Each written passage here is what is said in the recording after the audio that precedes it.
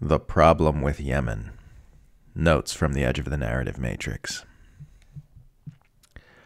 A big part of the problem with Yemen is that the photos of starving kids are too often captioned with, Oh, look how sad, instead of, Your government is doing this on purpose. Warmongers are saying, if we leave Afghanistan and it returns to Taliban control, it will be like the whole war achieved nothing. Uh, yeah. Yeah, it will be lots like that. How about that, huh? The only reason Americans think it matters who's president is because no one's ever compiled all the data about the entirety of U.S. government behavior around the world to show what a microscopic fraction of a percentage point of that data actually changes between administrations. My social media feeds are full of Americans literally trying to crowdfund their own survival while the nation's worst are adding hundreds of billions of dollars to their wealth. But wanting to change this system makes you an extremist. The Assange case isn't about national security, it's about narrative control. Nothing WikiLeaks published endangered the American people. It endangered a globe spanning empire's ability to control our understanding of what's happening in the world. This could not be permitted. Listening to the Young Turks defend themselves from the outrage that has rightly come their way in left wing media circles, you'd think Jimmy Dore broke into their studio and forced Cenk Uygur and Ana Kasparian at gunpoint to lie about Aaron Mate being a secret agent for a foreign government. Imagine if all the people yelling that it's time to move on from TYT smearing Mate as a secret agent for foreign dictators had from the very beginning just spent all that energy telling Cenk and Ana that they need to retract and apologize for a disgusting and unacceptable act. If left indie media had simply united along the very simple and obvious no, we don't accuse leftist anti war journalists of being secret agents for foreign governments this would have resolved very quickly and would have gotten anywhere near as vicious as it did. It's not okay to smear anti war journalists as secret agents for a foreign government.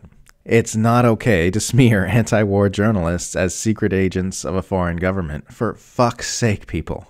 This should be the most basic, bare minimum, slap in the face, obvious position for anyone to the left of Joe Biden. It's absolutely amazing the amount of creativity people will pour into coming up with excuses for supporting the worst impulses of an unfathomably corrupt and murderous globe spanning empire. The revolution will not be televised because someone dug up its old tweets and now the revolution is too problematic to platform. The next anti imperialist socialist voice to rise to a position of prominence will, with absolute certainty, become the subject of many urgent news reports solemnly informing us that that person is problematic for some reason. Might be anti Semitism, might be Kremlin cronyism, might be something else, but they will find something to warn us about. And they will warn us and warn us until that prominent voice is distrusted and its influence nullified. Seriously, trying to think of an influential voice who consistently opposes Western imperialism but hasn't been smeared as an anti Semite, a Kremlin asset, a closet right winger, or a kook at some point. Such figures simply are not permitted to emerge without being viciously smeared anymore. If Western leftists ever want to be more than a glorified group chat, they're going to have to stop letting this happen. They're eventually going to have to plant their feet and resolve to keep shoving toward their agendas, regardless of deliberate, divisive, concern trolling tactics about the specific individuals within that movement. As soon as the capitalists figured out that leftists actually have values and care about things while their opponents do not, and that this could be weaponized, they were guaranteed to keep doing so to keep the left down. At some point, we do need to stop letting them do this and just go. It is good that people are becoming more aware of the very real distinctions on the American left. Progressive Democrats are not the same as anti imperialist socialists, and pretending otherwise was only causing unhelpful tension and confusion. It's good there's more clarity now.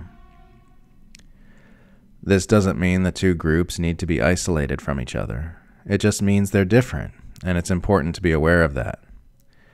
There are issues on which the two groups are in alignment, and they can work together on those issues, but be aware of the differences. It's just like how anti war right libertarians can work together on some issues with anti war socialists, but it does no one any good to pretend those two groups are the same. Progressive Dems can likewise be worked with on some issues, just be crystal clear on the differences. More and more manipulators are coming out into the light and being seen for what they are.